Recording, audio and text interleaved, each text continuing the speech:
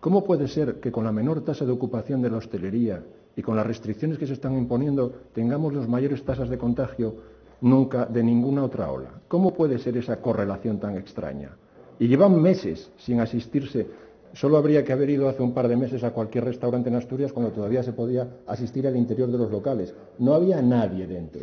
Se criminalizan sectores sin tener ni idea de lo que se está haciendo. Se dan palos de ciego y con un presidente del Consejo de Gobierno cuya única preocupación es el COVID, hacer de la salud su particular dictadura.